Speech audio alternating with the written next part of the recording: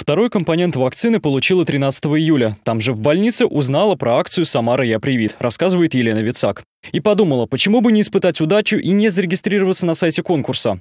Судьба действительно улыбнулась Елене, тем более, что сменить телефон на новую модель она планировала давно. По результатам акции девушка в числе победителей выиграла новый современный смартфон. Вообще я первый раз вот в жизни что-то выиграла. Попросили подтвердить, отправить сертификат о том, что я сделала вакцину. Ну, я это сделала. Ну, все, потом мне уже мне еще раз звонили, еще раз говорили. Я уже тогда окончательно убедилась, что на самом деле это все правда. Сегодня Елена забрала приз у организаторов.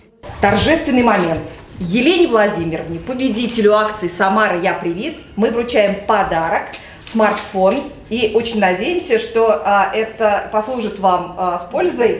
По многочисленным просьбам жителей организаторы объявили о новом этапе акции, который начнется 1 августа.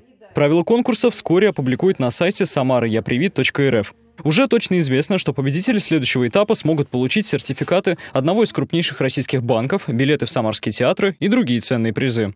Мне приятно объявить о том, что мы продлеваем акцию этой эпидемиологической ситуации. Мы приняли решение о том, что с 26 по 31 августа будет э, второй этап акции. Точно так же будут ценные призы, поэтому мы приглашаем всех людей регистрироваться на сайте «Самара Я Привит». В акции, проводимой при поддержке администрации города, приняли участие свыше 9,5 тысяч самарцев. Организаторы конкурса особо отметили то, что при выявлении победителей были обнаружены заявки, содержащие недостоверные сведения, поэтому во время регистрации на следующий этап жителей просят быть предельно внимательными при заполнении данных.